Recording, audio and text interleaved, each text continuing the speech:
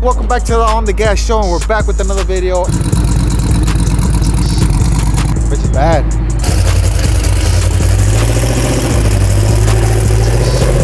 It ripped over the damn transmission line, put a hole in the transmission line.